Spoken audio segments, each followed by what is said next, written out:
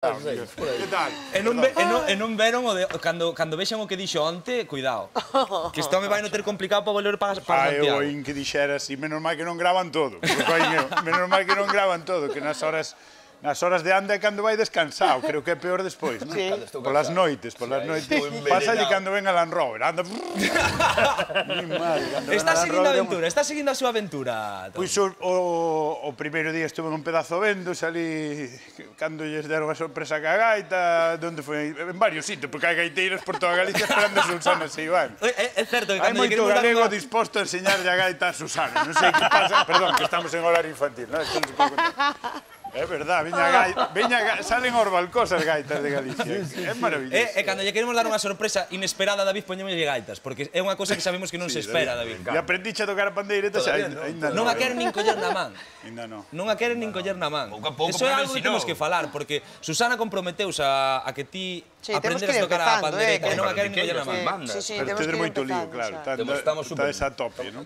Bueno, como se estás vendo? Toure, como estás vendo a David? Que, que con David tes máis... Bueno, traballade xuntos e eh, coñécelo un pouquinho máis que a Susana. Pero como estás vendo a David? Pois... Eh... moi ben, moi ben. Hai que mirar para diante. Mira as cámaras. Estou non vendo moi ben, a verdad que... Eh... Vamos. Vamos. A verdad que se afeitara estaba máis guapo, pero bueno. No, ben, ben, quero decir, vexo moi contido. Eu creo que necesita máis etapas para sacar o monstro que leva dentro para que todos os galegos poidan ver realmente o que hai dentro de David Perdomo. É que eso non se pode, gra... eso non emite. Dalle a vida descansar 12 horas, porque é o mesmo que me gustaría que o, vexe, que o virades as 24 horas do día. Eu creo que, sí. claro, por eso vos digo que eu creo que mentre vai andando vai descansando, vai cargando a pila e despois Susana sabrá a millor, non? Sí, e o equipo sí, sí. todo se pode dar a contar. Pero vexo, vexo, vexo moi ben, moi contidos, moi moi, moi con, como a Josefa, má María Josefa, má la eh, Cámara. Josefina, vai. As dous. José Antonio. José Antonio. José Antonio, increíble. Que é como Jersey e Antonio. E Antonio, é José Antonio. Eh, e a Susana como estás vendo? Pois, como estás vendo a Susana? Pois pues, o é tempo que vin vinos os dous xuntos todo o tempo, pero che, che conto que con Susana estou flipando no tema da xente, non? Un montón de gaiteos por todos os lados, un montón todos de xente lados, que, que, que vos coñecen, que, que vos siguen. Sí, sí, sí sí. Ah, tipo la música, pero... Flipaches o pedazo de cómica que... Era o que te iba a preguntar, sí, unha sí, barbaridade. Sí, sí. Eh? No, no. Unha pasada. Xa, eh? Bueno, eh, quero dicir, eu eh, esa parte xa coñecía. Xa coñecía. Xa coñecía de... Claro. Coincidimos algunha vez tomando algo, Estrellas Galicia sobre todo, Estrellas Galicia. eh, eh, eh e, e cando tomamos un par de estrellas Galicia, pois pues, sa, a, a todos nos sale claro. esta... E a la parte de gaiteira, pois pues, Tamén é boa payasa, con... É payasa, payasa pero ben, eh? Sí, sí, vou quitar isto, que total non me fala nadie, vale? ambos falar, ambos falar, porque é que estábamos comentando antes, Touri, que eu non sei se isto se fixa algunha vez, pero empezamos un programa en directo en, eh, na internet, conectando cun programa en directo na radio e conectando cun programa en directo na televisión de Galicia 2. Eu creo que está eu sendo, creo que está un fito histórico. Creo que están sendo pioneiros en todo o que se pode facer xa. Creo... Non sei se hai máis maneiras de retransmitir algo. Podes, podemos ah, facer espera, un directo espera, desde te... o meu Instagram. Por eso, iba a dicir... Ao mesmo tempo. Donde... Teño un móvil a cargar na furgoneta, non? Teño un móvil. Vale, vale, vale. Teño un móvil a cargar. Pero non te preocupes que temos o community tolo, está o community xa facendo stories de eso, está bueno, volcándose eh, pues, carretes todas. Facendo un directo en Instagram, eu creo que nos queda por por ver xa, por sair por sair, sabes? Xa non se pode sair en máis sitio. De verdad que Ahora Gallo... mismo pinches onde pinche. Está Esto non sei se pode contar, Galloso está que bota chispa. Solo pode decir. Aí no eu. Oíno, que xa non dixen nada. Falou co presidente da Xunta, creo. Vanme botar de Galicia no, no, para que aquí eh. ten o programa xa, para que te retiren daqui e que teñas que facer o camiño cando chegues a Santiago ao revés. Pero marcha atrás e cos ollos tapados. Sí, Como sí, sei sí. o micrófono por si quere vir, eh? Digo unha cousa, todos. Mira. Está aquí. Está, está aquí por si quere vir galloso. Pois pues eh? cando queira... E a ferramenta, a ferramenta tena aquí. Ahora cada vez queda, quedalle máis cerca da casa, así que non ten excusa. Non sei onde estar galloso, pero non tes... Ai, aquí o meu móvil. Vamos Ay, móvil des... Ahora sí que vamos, vamos, vamos cerrar facer, o ciclo. Vamos cerrar o ciclo. Vamos, vamos cerrar o ciclo. Un... Estamos, estivemos na radio, ahora estamos na tele e na vamos web. E ahora vamos directo... estar nas redes sociais tamén. Na miña, na miña, eh? Vale? Na, na de Touri. Se hai alguén a esta hora véndonos, Porque esta hora que hora é? 5.50. Estamos ás 5.50, sí señor. Vamos facer un directo estamos en Instagram. Preparando, estamos preparando. É a primeira vez que fago isto, que os sepades todos. Eh? o que, unha historia, un sí, directo? Sí, iniciar vídeo en directo. Isto pode Pero ser mundial. Isto pode ser estratosférico. Está treme... Xa estás en directo. Estamos en directo xa. Ahora a ver, ponche a, ver a xente, xente que se, que se... Alguén conoce a este chaval? Hola, hai alguén aí? Está, non, hai indio. Aí está. Aí to, xa hai oito persoas. Xa hai oito persoas razonando ca xente. Eh, que pasa, Touri? Aí estamos, eh? En Porto Marín. Espera que vos dou a volta. Mira a xente toda que está sin traballar. Fíjate.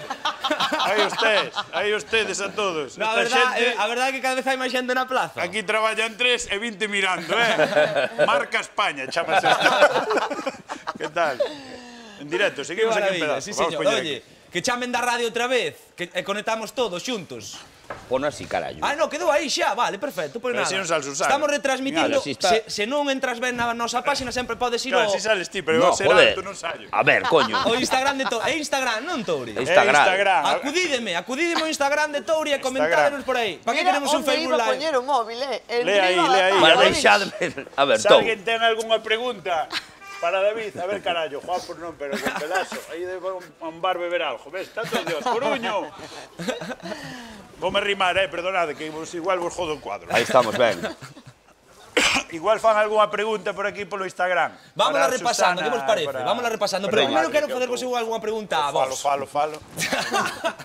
Unha cousiña, vamos a ver, porque aquí todos son sodes cómicos, bueno, Touri e, e David eran cómicos. Ti estás empezando así logo. bueno, está... Pero, cando empezachedes vos con isto da comedia? Como vos deu por aí? Como sabíades que ibades empezar con isto da comedia?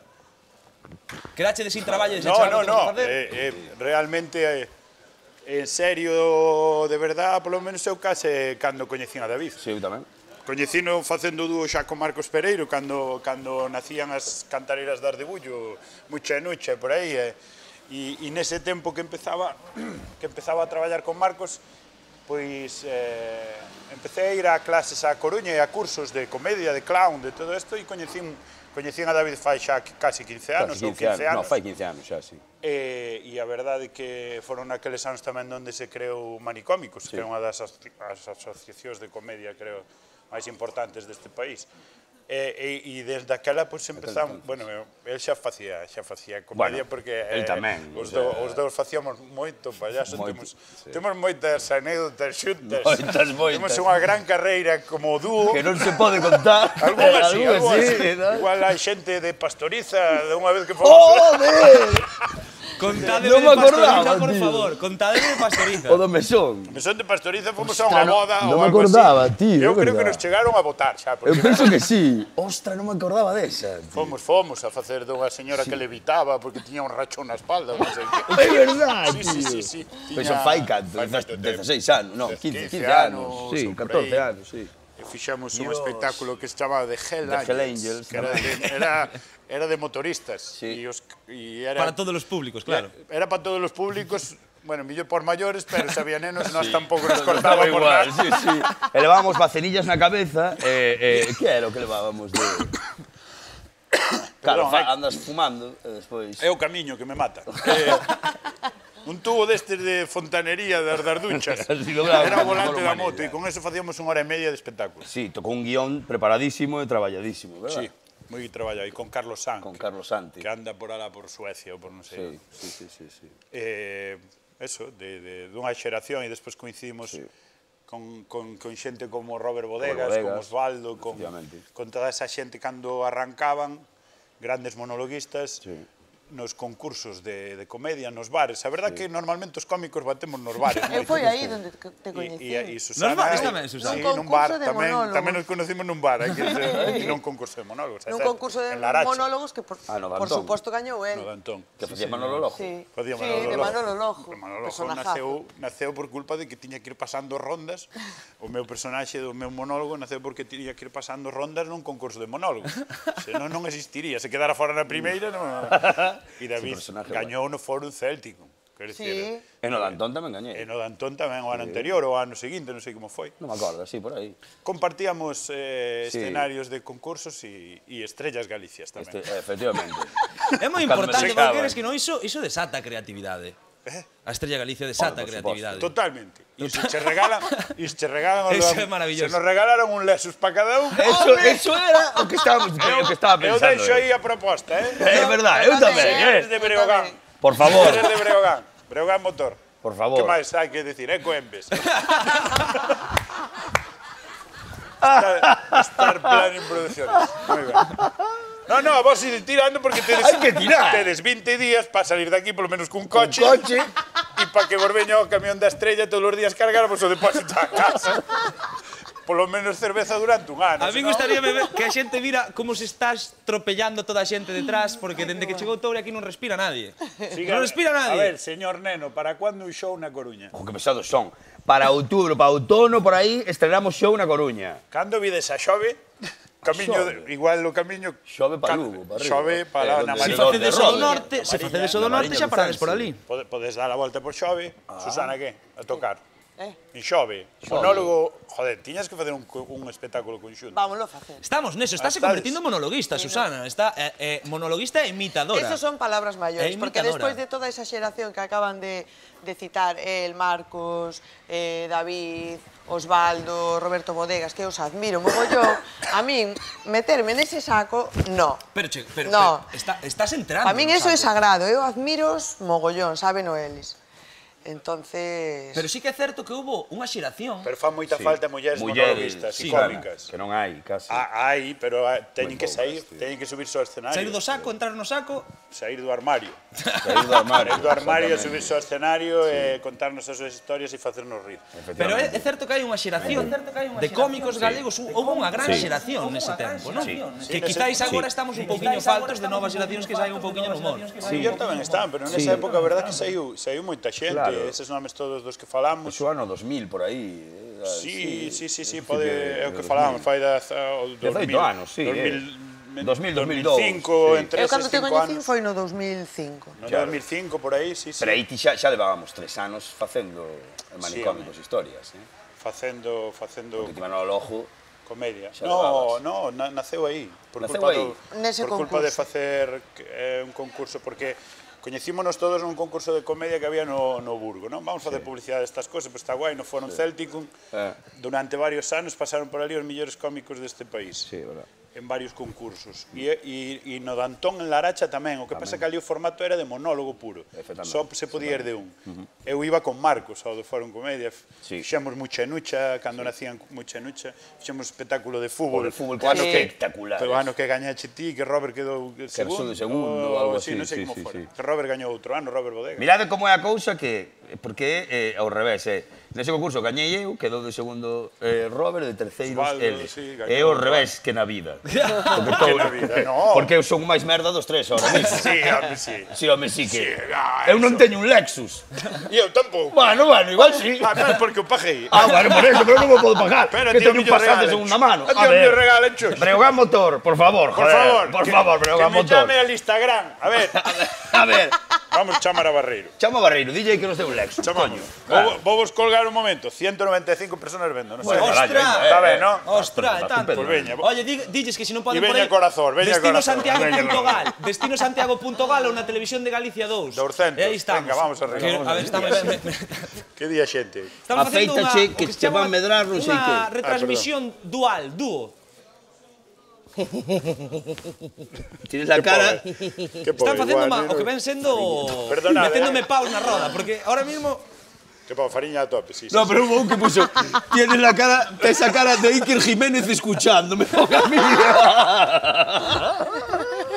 Perdón, eh, que estamos traballando para todas as televisións. Se queredes emitir os de Telecinco, da Sexta, de todos tamén, podedenos seguir en directo. Como andar unha cámara que pinchen, que pinchen no YouTube, que directamente, e eh, tiramos, e tiramos para diante.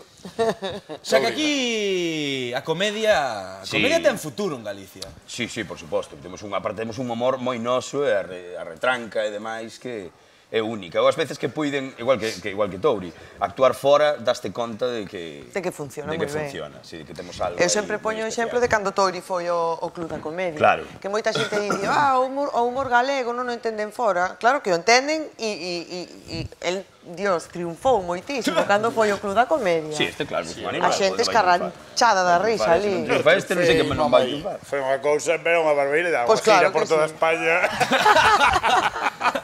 non, é verdade que foi moi ben, é verdade que Joder, foi guai. Falando disso, de eh. que, de que, de que traballo... Hai que para arriba, pero hai un montón de 254 personas estamos, mirando. Estamos petando. Estamos petando. Estamos petando. Seguimos aí, eh? O pasa que hai que darlle co dedo, senón non sube. E que traballo, de que traballo estades máis orgulloso? Empezamos por Touro. Touro, ti de que traballo estás máis orgulloso como, como humorista? Eu do que máis orgulloso estou é de mucha nucha mil veces máis que de nada porque foi mucha que me dou o resto todo de todos os traballos. Estante chamando, non, Susana? A min? É que agora vamos a... perdona, eh, que, no. que te sí. interrumpa, Vai, que, que te interrumpa, Tori, pero que agora no. vamos facer outra metra, outra meta conexión. Imos, con, Ai, imos conectar sí. Co Galicia Viva nun pouquiño. Tes ti tamén pinganillo, Teño verdad? Hola. Pois poñémonos todos o pinganillo que nos van chamar dende a televisión de Galicia. Que, que chamen outra vez, que non o din collido. Xa lle contesto eu o tema. Imos, imos facer outra vez metatelevisión, televisión dentro da televisión. Imos conectar a TVG2 a TVG1. Isto, isto sí que eu creo que nunca se fixo. Hola. Estamos innovando, estamos batindo todos os récords técnicos, isto é un desafío estoy. técnico e humano que estamos logrando. Hola. Ah, e ademais estamos en directo polo, polo directo hola. de polo live de Touri. A tope. No Cante... Instagram, no? Mira, hola, hola, hola. Temos aí 257 personas. Mira. 257 personas hola, hola. a retransmisión polo móvil de Touri, que nin se move, quero decir, é plano fijo. Imagina sí. que Casi temos realización, que cambiamos Marín, de cámara, este ten que ser unha locura. No. Xente Porto Marín. Estame recomendando bares en Porto Marín. Escoítote perfectamente, sí. Tante chamando, Touri, que lle colles aí o teléfono, ah, os compañeros. Home, claro, nos vais ah, tocar solo. Que lle colles o teléfono para empezar a conexión. Non é de falarlle. Descólgate. Non é de falarlle. Tes que arrastrar. Non, ao revés, a bola. Espera, se colgou. Perdón, Hola, perdón. que tal? Estamos eu escoito vos moi ben, eh? Vou me vir para lá. Chámame outra vez, Probando, probando. arrastrar. A min toleadesme, toleadesme aquí. Isto é telerrealidade. Vou ir para aquí. Ven para aquí, Adri. Vou para aquí. Dalle aí ao botón. Voche contestar. A ver. Estamos fora de cobertura, macho. Que tolería, que chico, chamen, por que chamen, Dios. Que chamen a Tori, que ahora conectamos. Temos que a tope. Estamos a tope, eh? 4G. Contéstalle aí, David. Fálelles algo, aos do Hola. móvil, digo, aos do no, móvil. A ver se ora, aí. Hola. Hola. Hola. Hola, buenas tardes desde Lugo. Ahora sí, non? Minuto volven de... Ah, que están en público, pois pues eu volvo ao meu sitio. Era que tiña mal posto o chisme, vale, vale. Ora escoitas? Vale. vale. Eh, como se hola, hola, como estades? Escoitadesme ben? Estamos aquí. Tío, esa. Moi, moi baixiño. Vamos a subir o, estamos o volumen aquí, a esta. Si aquí estamos, en Porto Marín. Está a tope. Está a tope tope esta plaza Fálame de xente. Aquí un pouco. Sí, hola. Aquí un pouco. Vale. Hola. Que tal? Un, dos, Tou, tres, Susana, probando. que non, non vos escoitan, dinme aquí. Sí, xa estaba hola. falando. Hola. Vale. Hola. Escoitades a... Escoitas algo, ti? Eu escoito por moi longe. Espera, claro. vamos poñer isto para fora. Estou facendo de técnico, estou facendo de todo. Vou para outro lado. A ver se ahora escoitades. Aí, que tal, ben? Ahora mellor. Hola. Vou para outro lado. Voume sentar aquí ao lado de Susana. Voume me a ti, Susana. Mira que plano bonito temos, eh? A nosa flecha de destino Santiago. Isto é unha maravilla. Temos unha grande, unha pequena, Estamos esperando a entrar en directo, estamos esperando a entrar en directo na televisión de Galicia no Galicia Viva, porque como vos dixen antes estamos facendo algo que nunca se fixo. Estamos conectando a televisión de Galicia 2 ca, ca televisión de Galicia 1. Que me está ahora mismo? Está a xente loca na casa buscando outra tele para poñer as dúas, sabes? Está un... Ten que estar a xente loca e di encenda da cociña e poner a luz, dúas, encenda da cociña. Están uns no ordenador, outros na televisión de Galicia 1, outros na televisión de Galicia 2, non, non saben para onde ir. Non saben para onde ir. A ver, Eu voume quedar aquí. Eu voume quedar aquí. Ata que nos digan que nos temos que mover, voume quedar aquí. Cinco minutos? Bueno, dame a min tempo cinco minutos. Pois seguimos falando do noso. Perdona que te interrumpira antes, Touri. De que traballo? Dixéchesme que de mucha nucha. É de veces. algo que está, é do que máis orgulloso estás. De todo. Quero dizer, porque gracias a Mucha fixen o resto todo. Estame falando do Galicia Viva por aquí. é do que máis orgulloso estou por, por eso, che digo, porque gracias a Mucha e ademais foi, foron os personaxes que creamos nós. Sabes, porque os que viñaron despois, moitas veces, pois hai un equipo de guión detrás, hai todo eso. Eu estou moi orgulloso delas porque me deron o resto todo. Entón, non teño dúda. Ese, non? Sí. O sea, que se tiveras que volvelo a facer, vol, volver atrás, volverías a facer ese. Sí, de claro. todos. Volver atrás, agora teño que deixalo descansar un pouco e un pouco máis para diante volvemos a Porque foi moito tempo, moitos bolos, moito... 15 anos. 15 Justo anos. ano pasado, uh. 15 anos, sí, sí. Este ano xa 16, Eh, eh, e quero dicir, volvería a facer mil veces porque me divirto moitísimo pasámoslo Eva Marcos en grande. Facendo... Era o que che iba a decir. Estuvemos nesta plaza actuando eh, sí. eh, nas festas, non fai tanto, tres anos, ou mellor dous anos, por aí. Sí. Era o que che iba a decir, con Marcos a conexión é brutal, non? Sí. Sodes unha parella casi matrimonial. Sí, non tanto como as vosas vale. con todos os canales que temos, pero nos, no, no, a verdad que somos eh, irmás, somos é como eso. Quer dizer, entendémonos, pero perfectamente, cando un iba para un lado, o outro seguía ese xogo de, da, da comedia cando é en dúo ou cando é máis de unha persoa no escenario ten cabelo, é que se non hai esa complicidade é imposible traballar. Claro. E, e entre nós os dous daba igual así era, quer decir, así era mucha nucha que ibas para un lado eh, e viño outro, outro empezaba, inventaba polo outro lado e seguíamos, é certo que tiñamos un guión máis ou menos donde empezaba e donde acababa, menos na casa, pero polo medio nunca se sabía o que iba a pasar. o guión que daba na casa normalmente. e, e ti, Susana, de que cousa, de que traballo estás máis orgullosa de todos os que fixeches? Pois eu, quizáis do que este máis orgullosa, A ver, dos discos, por exemplo, é, é moi difícil. Sempre me din, que cal é o disco que máis che gusta? Pois, como diría outro, todos son fillos, non? Pero quizáis do que este máis orgullosa é dos, dos concertos en directo. Dos, do, do directo. Do directo que... É que hai ese feeling co público só os atopa sí. aí, non? Porque o disco está moi ben, pero cando conectas co público é, é no directo. Claro, é onde tens que demostrar que tes un bo directo, e os discos pois é unha cousa e o directo é, é outra, non? E a verdade é que sempre estiven rodeada de musicazos, xóvenes, eh, con grandísimo talento, cos que levo moitísimos anos traballando xuntos, levámonos moi ben, eh, digamos, a, nos, a, a miña segunda familia, porque tamén pasamos moito tempo xuntos, non? Eh, e quizáis do que máis orgullosa estea sexa diso, non? de, bueno, pues de lograr ter ese grupo de traballo durante tantos anos, que evidentemente houve xente que marchou pois porque tuvo fillos, e, e lle cambiou a vida e tal, pero máis ou menos sí que mantiven durante, pois mira, fago 20 anos o ano que ven Mi de profesión. Querida. Mi madriña querida, son moitos anos en río dos escenarios, eh? moitos, moitos anos. anos. Empezaches moi noviña tamén. E ti, David, que? Cal é o traballo do que máis orgulloso te sintes? Pois, unha vez arreglei a bajante a miña tía. pois a mí pasame como a Touri. Al final o que me deu a gloria foi o Coruño. E... É un personaxe que, que tiven aí os meus momentos de, de, de rabia contra él, porque parecía que me iba a encasillar, pero sí que o que me deu o que teño hoxe é, é o traballo que máis orgulloso estou é o que é o que vou morrer eu. Eh, ma, morre Touri aquí de lado, eh, quedaríame con ese, aínda que teño moitísimos traballos, tanto solo como acompañado de compañeiro de, de amigos e compañeiros como el que estou super orgulloso, pero de feito, eu creo que todos os traballos que fixen, eu estou orgulloso de todos, non hai ningún que que diga pois mal, non? Pero sí que é o Coruño igual o que o que me deu que teño, entón pois teño un cariño especial a ese tipo. A ese tipo. A ese tipo. E, e que Que vos queda por facer? Se podera, se poderades elexir agora mesmo un proxecto, algunha cousa que vos gustaría facer, que, que vos queda por facer? A min gustaríame, e non me canso de repetilo, facer drama. Evidentemente, a comedia, o que me dá de comer, o que me gusta, pero eu son actor, eu teño formación de actor, entón o que me gustaría é facer algo dramático, porque considero que os actores cómicos eh, estamos eh, moitas veces supeditados a facer comedia sempre, pero creo que o, o rango de emocións que podemos chegar é máis amplo que dun actor dramático que só fai drama, porque considero que é eso, non? O que pasa é que tens que cambiar nos ollos da xente moitas cousas e, e bueno, é complicado, pero eu desde logo facer algo de drama. Bueno, hai, estás facendo drama no programa, eh? Sí, estás facendo drama porque drama. hai momentos moi dramáticos, os momentos de bomba un pouquiño porque a, jasio, a jasiosa, iso é dramático. Chicos, veña, que vos vou ensiñar, vamos a presentar a, a Xosé Antonio Touriñán, a vosa amiga. A, ah, a Jorge. Ai, a, a Imos Josefina. Ah, claro, porque nunca cabe. Espera, que está empezando a chover. Eh. Imos, imos a presentarvos a Josefina. Presentadelle, Está aí, Josefina. aquí estamos bien. Quieta, quieta, Susana, ven. Ah. De aquí. Ven pa aquí. Josefina. José Antonio, ponte no medio, que sí. te van presentar a Josefina. Mais adiante. Mais adiante. Hola. Coñecedes a Josefina, non? Josefina, aquí tes... Que tal? A José Antonio. Grandísimo a José Antonio. José Antonio soy yo. José Antonio Touriñán. Gusta, che Touri. Como eh. está?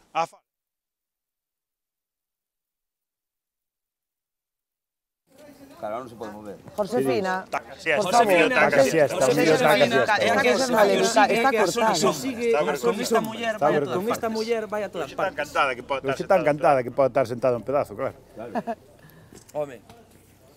Ademais, ten un carácter moi boa que se Hai xente falando aquí con este estanco, dixe. É unha persona fantástica, Josefina.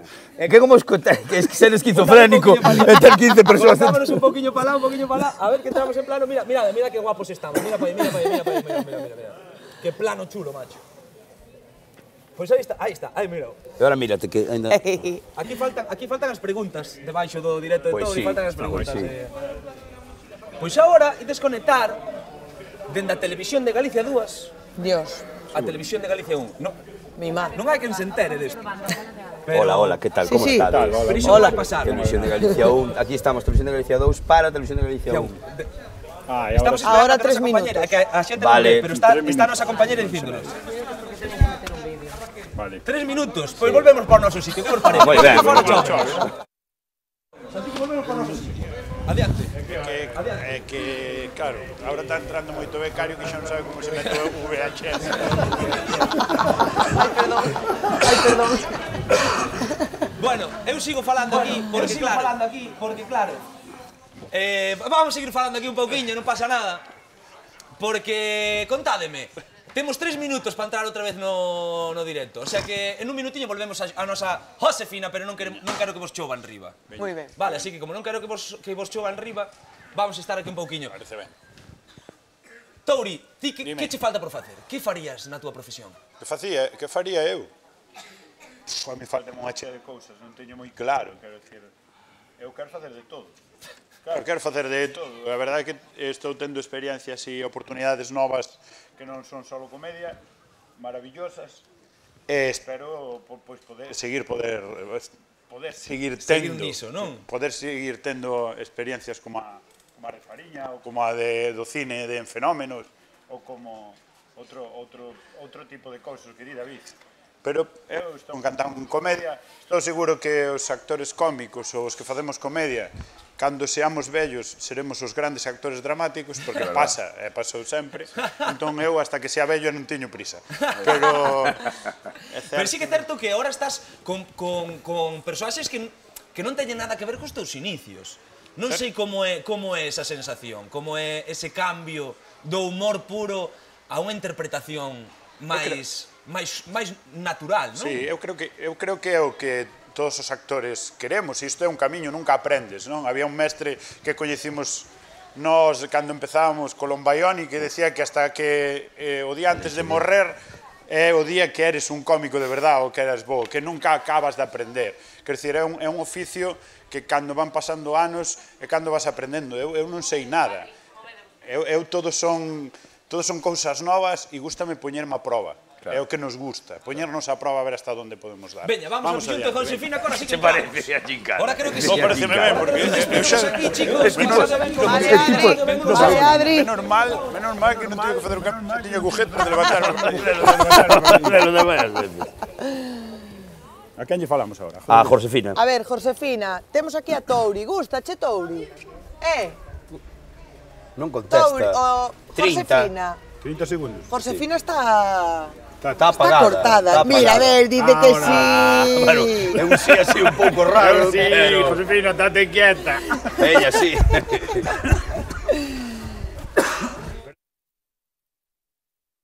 Teño que cuidarme que mañá teño Land Rover. Ostra, é claro, mañá é Land Rover. Teño que cuidarme. Coito baixiño, eh, eu. Si despois cando nos falan directamente eu creo que soy máis alto, eh. non? Vale. Igual é a cera que teño no oído. Igual tamén. Non me avisaron que había que meter nada nas orellas e... Na, na, claro. Isto despois que hai non? Isto non lle poñerá gaón. Ponte lle gasolina, di por riba. Pode collerme facendo de oído calque. Seguimos estando en directo. Que hai que estar calaos. Non nos coitamos.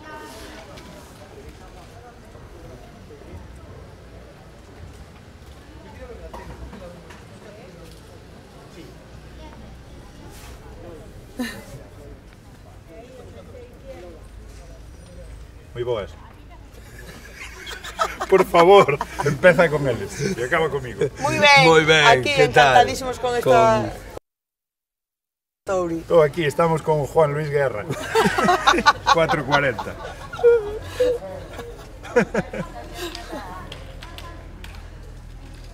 Sí.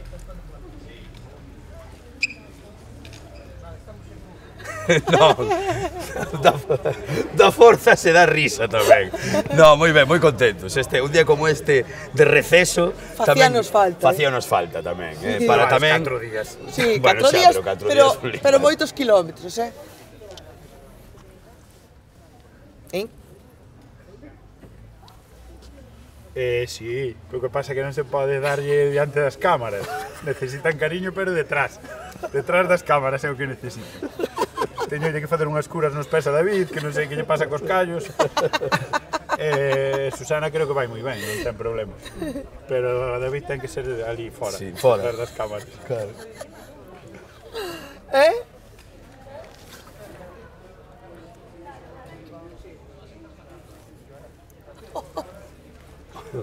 claro. Sí, lo sé. Moitas gracias, que vou decir? A verdade é que é unha Estou máquina, pasando unha genial e tendo a David todos os días Sabes pois... que as pois malas compañías traen estas cousas, non?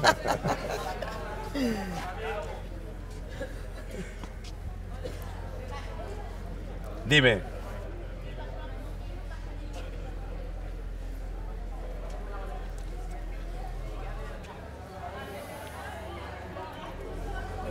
Sí, non, non, é que é unha cousa que non se pode finxir, é dicir, esta afinidade foi xa desde o primeiro día, e, e cada día que pasa é moito máis, é, é moito mellor, é, é como encontrar unha compañeira co, ca, que, que se está transformando e xa é unha amiga eh, unha amiga moi de verdade, moi é que nos entendemos perfectamente. Ora xa cunha mirada xa hai xa, hai, xa nos entendemos, non? É o mismo humor, a mesma macarrada, e, bueno, o ano pasado Lucía e Toñito cantaban, e este ano Susana e eu, pois pues, tiramos peitos, non, está mal, pero, pero facemos la mona, e temos gases, bueno, todo moito peor e máis tal, pero máis divertido.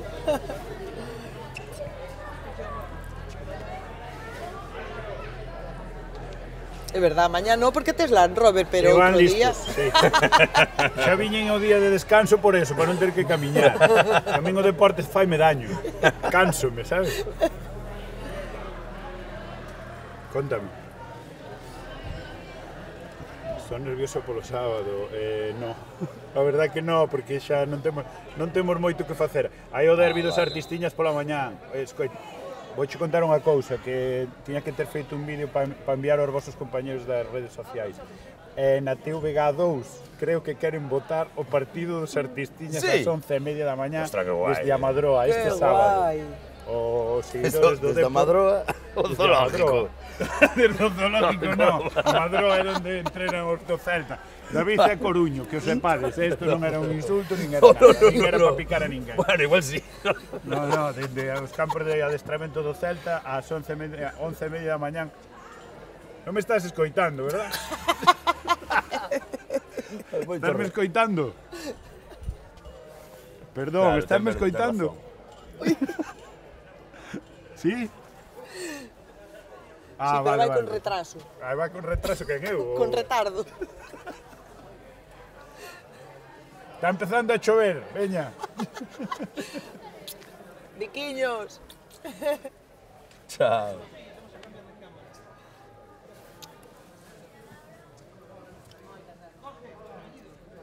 Pois xa acabou este fito histórico. Acabou este fito histórico. Este Cuidado, isto non pasará, cuidado. Isto non pasará nunca.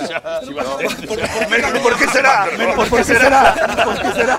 Non nos deixan facer Volvemos outra vez, veña, vamos para dentro. Que ademais comeza a chover aquí en Porto Marín. locura que flipas. Comeza a chover aquí en Porto Marín, temos Ay, que mi cambiar a petaca a Xosé Antonio, pero seguimos aquí en Porto Marín, oye.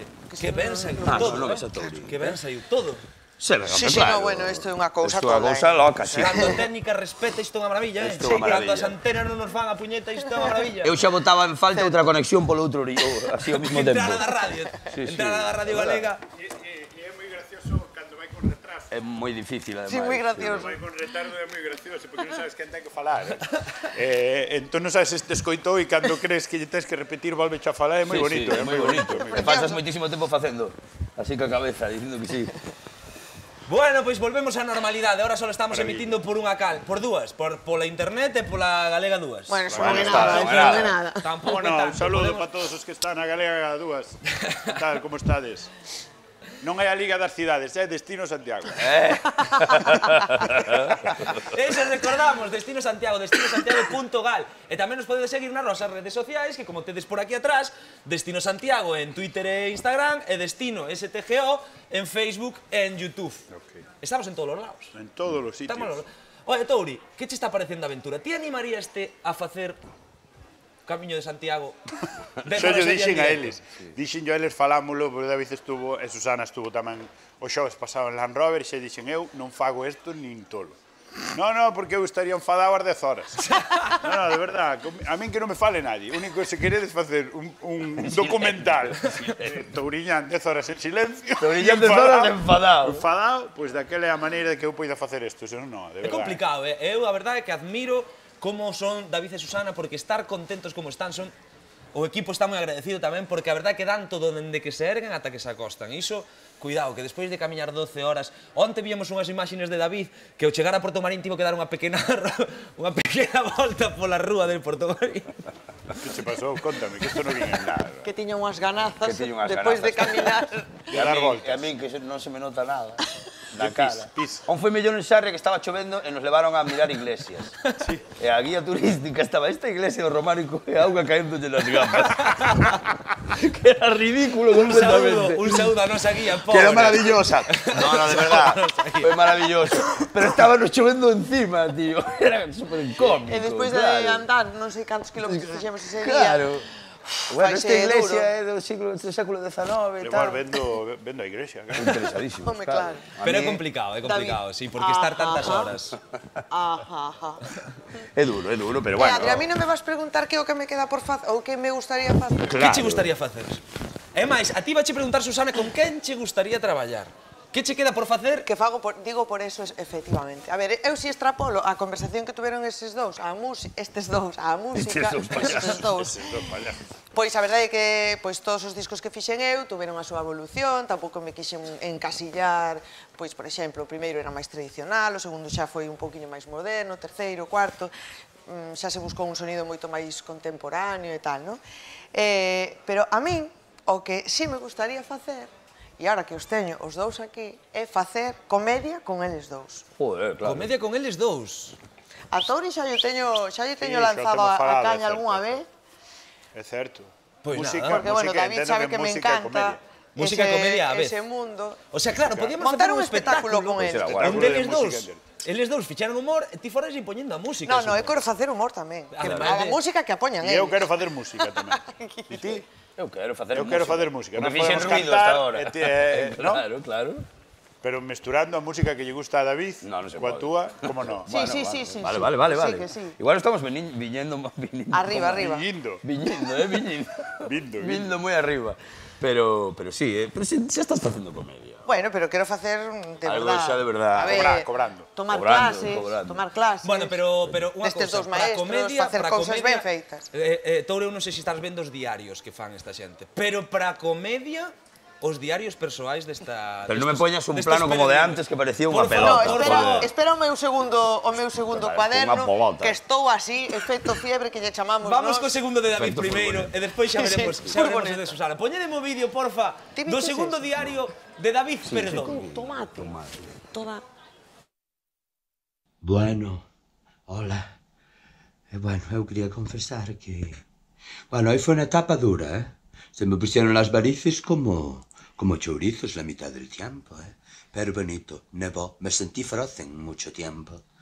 Muy contento, muy contento, ¿eh? Muy contento porque ya se me va a cabeza. Foi unha etapa estupenda, foi unha etapa maravillosa. Oxe, Susana xa é unha, xa definitivamente a mellor compañeira do mundo. Eh, e ademais moitas risas, moi guai nebounos, foi como super idílico todo. Estamos ben físicamente, unha cousa que teñamos un pouco de medo. Ben que máis cousas. Mañán eh, vamos a Sarria, unha etapa tamén que ten boa pinta, a cousa pinta ben.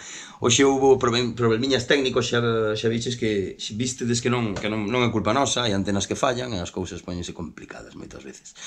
Pero solucionaránse, como todo. Eh, levo moi mal o reto que lle fixen a Susana de non beber a Estrella Galicia. Teño moitas ganas.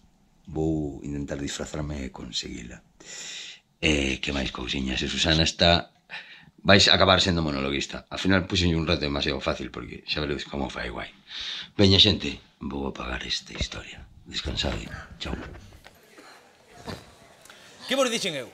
Pa humor os diarios. Ainda chegan con humor, Touro. No, no. chegan con humor. O, Estou vendo que o levo moi ben. Estou me replanteando de se podría eu ou non, porque o vexo super, super ben, moi, moi contento, sí sabes? Sí que poderías, Touro. Sí, sí, sí. sí. Que come? No, eu creo que deberían facer dúas etapas, dúas etapas diarias, porque non sabes o que como eu. claro. Pois pues dúas, dúas etapas diarias, debería facer para pa que sufran de verdad, porque isto 60 km o día. Interesa velo sufrir non interesa ver, ah, que ben, non pasamos, non, non, non, sufrir, interesa sufrimos que sufra. tamén, pero claro, sufra. sufrir. hai unha enerxía Tan moi guai. positiva que nos fai pasalo ben. Falto eu para un... pa, pa traer mal rollo. Terceiro en discordia. Bueno, pois eu penso que agora debemos, debemos ver o segundo diario de Susana, porque tamén hai moito humor nos diarios de Susana. Veña, vamos ver Dalqui o segundo de diario de Susana. De fresa. Dalqui de fresa. Moi brillante. Fresa chenata, mira. Hola, amiguiños. Que tal, que tal estades? Ai, eu por fin duchadiña, estamos entre a Castela, hoxe foi unha etapa dura en cuanto a climatoloxía, como podestes ver polas redes e todo por aí, pero foi chulísima, a verdade? Fixémola, bueno, bastante ben, tuvemos aí unha, unha costa para baixo chegando a Tracastela que foi así duriña, pero bueno, salvo polo clima, que tamén está guai vivir así o camiño, non? Eh, pois a verdade que o pasamos genial, os pasei no co meu compañeiro, é que teño un compañeiro que é enorme, enorme, axúdame moitísimo, faime rir moito, dame unha tranquilidade enorme, todo o equipo é unha pasada, en serio. Así que estou super contenta, realmente cando chego á cama e cando me dou conta de Dios, todo o que fixemos, porque mentre estás facendo, pois quérelo facer e chegar e, e disfrut, estás disfrutando, pero realmente do esforzo que fixeches daste conta cando paras. Entón, agora queda descansar. E, bueno, meu compañeiro, o reto estrella, mm, sigo dicindo mismo, está o levando mal, pero é tan boiño. A min está me axudando co meu reto. Eu non sei, o mellor un día destes deixolle probar un poquinho, porque é duro facer o camiño sen unha estrella Galicia. É moi duro. Biquiños e hasta mañá. E moitas gracias polo voso apoio. Como os quedades? Aquí hai, aquí hai un diario paralelo, eh? Aquí hai un diario paralelo. Eu paseime co iluminador moitísimo esa noite. No, é que ese día queimámonos. Homes, claro. Entonces, non, non contaba eu con salir con tanta crema no meu diario, pero bueno. Que aceite de oliva. O... E aceite de oliva bo. Eh, é do bo, ademais. Do bo, do bo. Estaba sudando ainda do camiño, para que vexe sí. que se sube. Estaba sudando. Efecto fiebre. Tori, sí. ti coñecelos ben, tanto eh, a David como sí. a Susana. Despois destos, destas cousas que estás vendo deles, que che gustaría preguntarlles sin pelos na lingua a estos dous peregrinos de altura que temos aquí? Pois mira, non levan tantos días, pero gustaríame preguntarlles aos dous que é o que votan en falta neste tempo. Creo que, bueno. Creo que votades en falta, que, chicos. Quero decir, a, a parte da familia, Pois digamos eh, oxe, oxetos, ah, algo material. Algo material. Non o cariño, pois ver a miña irmá, ou ver aos meus fillos, sí. ou ver a... Non, non, material, algo que, que botedes en falta a hora de facer o camiño que se bota en falta, que se... Eu, de verdad, que sacando a familia, non boto en falta nada. Falta un pouco, eh? Nin nada. A ver, hoxe entramos aí no restaurante, había na máquina de tabaco un tipo facendo surf a foto e, e acordeime e dixen, ostras, ah, molaríame surfear, pero como que che dan moitas cousas o camiño, tío. Porto Marín hai embalse. Podría, embalse, tirme por aí abaixo. Surfear aí. Xa está. Ten unhas Pero que, que ten un rollo guai de que non botas nada en falta. De feito, do móvil, olvídate, olvidaste do móvil, tío. Eso é increíble. O sea, Esta será unha terapia maravillosa. É unha terapia guai. Sí, o do móvil é guai, eh? Olvidas. Sabemos que as nosas familias están ben. Sí eh, a nosa xente, que está ben, e é... E que en serio, non, non nos fai falta revés, nada. cousas claro. que gañastes, que, que, que, que, que apreciades máis, eh, son poucos días, o que dis ti, o móvil fora. Sí, pois eso, que máis eso cousas? foi unha das cousas. Outra cousa que gañei foi sair da, da, do, do, do monótono de cada día, sabes? De repente enfrascarte nunha aventura que non ten nada que ver coa túa vida cotiá, eh, pasalo xenial, tiñamos moitos medos, tanto si dábamos físicamente como psicolóxicamente, porque hai que estar tamén máis preparado quizáis que físicamente. Sí, sí. Pero leveime esa sorpresa de que estou vivindo unha experiencia que estou pasando pipa. E que é o contrario a material, tío. O sea, é todo... Eu levo con, como emocionado todo o rato. De ganas de chorar, moitas veces. Que xa porque tiñas falta antes de vir aquí. Non, no, no, no, digo, tiñas que guardado. Sí. Non, no, non, son choro que flipas, non, emociona. A ver, os que nos dedicamos a isto, a emoción non temos tampouco... Se necesitas chorar, choras. Quero dicir que estás nun estado de sensibilidade todo o rato.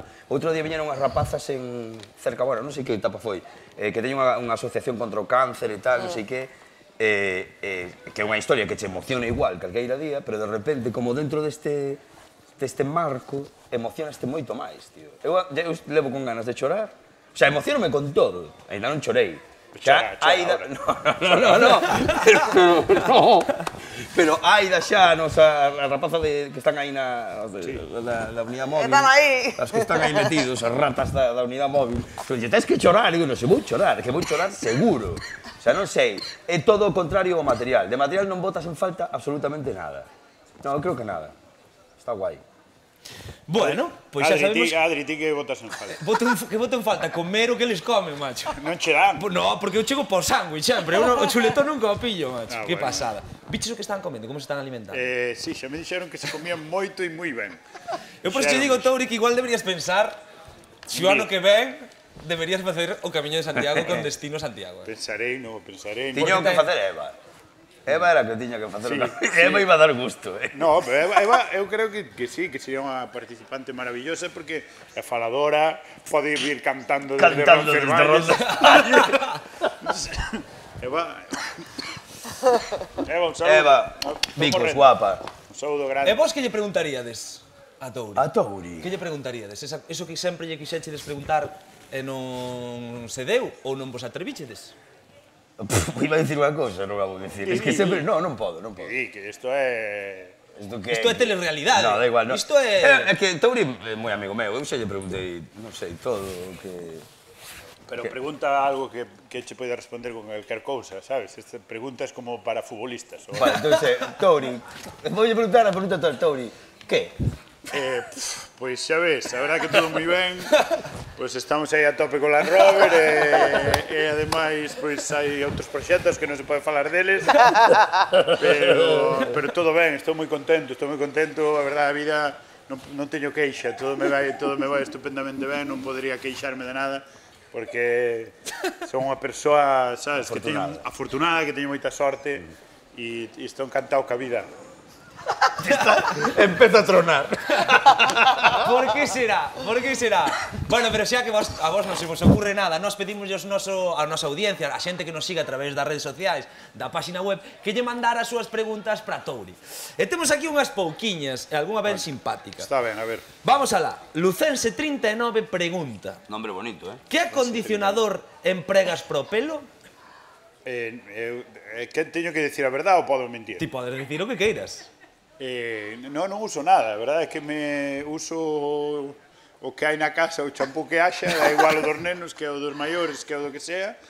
Eh, eso é o que fago todos os días, non me peino ni nada. A verdade que o pelo sale así e eh, así vai, quer decir, non me peino desde que fixen a comunión. claro, porque me mandaron peinarme así carrallo ao lado para coller o libro.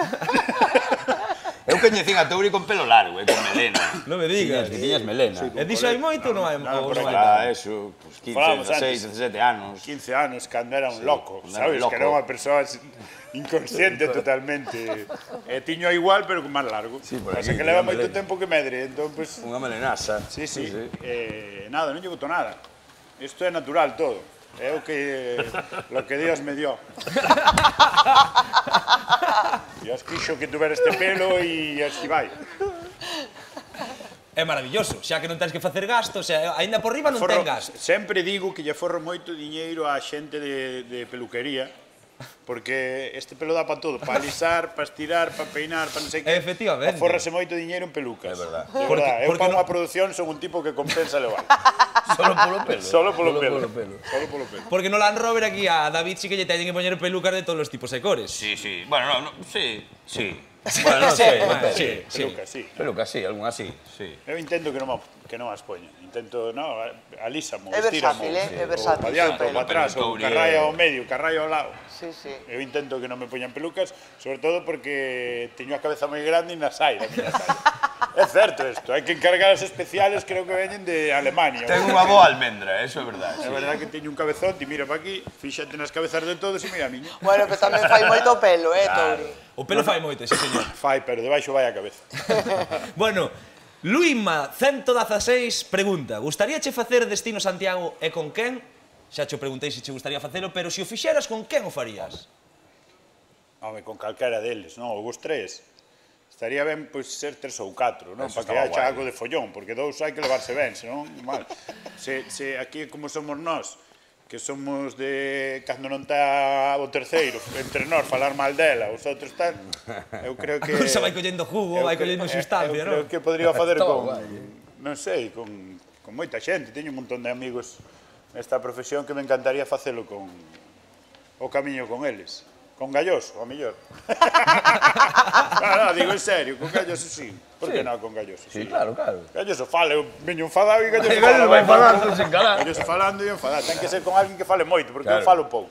No, digo en serio, cando non estou diante dunha cámara, sí. eles son meus amigos, poden sí. corroboralo. Falo moi É moi tímido. É moi tímido, Touri. Non gasto. Eu esa, non esa, gasto. Eso, é, eso é o que, o, que, o que sabía eu. Sí, sí. Pero claro, nunca se sabe. Se hai Estrella Galicia polo medio. No, tampouco. Non, eh. eh. con estrella, no, eh. Non, nin con estrella, non. Nin con estrella tampouco, For, no. nos bares por aí tampouco. No, no, de verdad, de verdad que, que gardo pa cando pagan. Eso é estupendo. Sei, sei que queda mal esto. no, pero é verdad. Pero di, di, é super, eu envidio eso de Touri. O sea, este punto no, de... No, é verdad que son super tímido e sí, eu tamén son das persoas que na nosa profesión hai xente que fala moito e non di nada. Sí, Entón, eu prefiro escoitar e aprender Eso sempre di meu pai, hai que, que escoitar que o doble do que, que falamos, fala, do que porque fala. temos dúas orellas e unha súa boca. Súa boca Iso é moi certo. Aquí propón María, eh, Mari Carmen Paredes que o próximo destino Santiago fora Touriñán e Eva Iglesias, que tamén o comentamos, claro, que sería unha, sería unha boa parella. Boa compañeira, tamén fala máis que min, boa compañeira, gustaríame Eva Iglesias sería unha grandísima compañeira para sí, comigo. Despois temos sí. a Ana Pipocho, Pipo, Ana, Pipocho, Ana bonito. Pipocho, que xa o nome di moito, que pregunta, se che fixeran unha oferta dende Madrid, aceptarías e marcharías e traballarías solo alá? Solo alá? Home, teñen que facer unha oferta para pagarme todos os días da semana, entón. Claro. Se, se, se eles me din, só podes traballar aquí, e a oferta fora como para decir, yo, me, claro, sigo que vas que irades. Pois, pues, claro, quería, igual quería para Francia ou para Estados Unidos Quero dicir, a, se, se me compensa a oferta, o que pasa é que é moi difícil que me compense unha oferta para traballar solo en Madrid, porque a miña vida está aquí, quero dicir, eu vivo moi ben aquí, son moi feliz onde vivo, e ten que ser unha moi boa oferta para poder tirar fora. Ir e vir e traballar nos dous lados, claro que sí, por suposto. Pero renunciar a Galicia costa, non? Traba renunciar a traballar en Galicia, home. Sí, sí, no, eu creo que nunca deixaría de traballar, é o que digo, se é un Normalmente o traballo audiovisual é pola semana, non? E eu teño un montón de traballo ao fin de semana de, en teatros en, e, e traballo por Galicia. Non, eu creo que nunca deixaría de traballar en Galicia porque non, nunca vai ser unha oferta que che digan tens que vir sempre. Entón, non, non, non, non o vexo, podese dar, non o sei. É o que decía, falábamos antes, de que che falta por facer? Que veña, o e despois veña. eu vou decidindo... Claro o que quero facer e o que non quero facer, pero claro. aberto a todo, por suposto. Pois xos Antonio Touriñán, un auténtico placer, moitísimas gracias por virnos a visitar o noso plató móvil de destino Santiago. Estás máis que invitado a vir camiñar con estes dous fenómenos cando queiras. Nos atreve. Vou Nos esperar por eles en Fisterra ou en Santiago, onde haxe que esperales, e apunto o chuletón. Veña, ah, despois da eh. tatuaxe que firmaron hoxe en Santiago, sí. que se van tatuar xuntos, pois podemos ir todos a comer un chuletón. Bueno, que vos parece? Eu tatuaxe non, pero... Pero, chuletón, pero chuletón sí. sí. Vale? Moitísimas vale. Podemos tatuarnos un chuletón. Que vos parece? agora, eh? Eso estaría moi ben. Moitísimas grazas por vir. E nós vamos seguir facendo un pequeno repaso, un pouquino, un, pouquinho, un pequeno repaso do que deu o camiño nestes 4 días, mentre eles se despiden.